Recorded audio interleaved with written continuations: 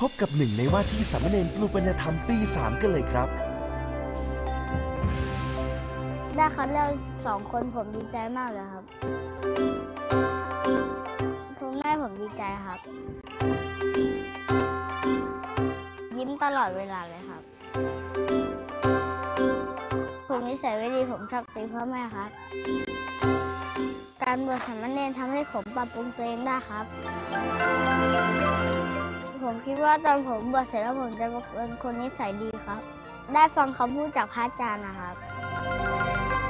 ผมคิดว่าตอนผมบวชเสร็จแล้วผมจะเป็นคนนิสัยดีครับ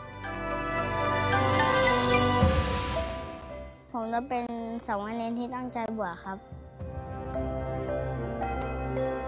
ร่วมให้กำลังใจพวกเขาได้ทาง True Visions ช่อง 60 และ True Visions HD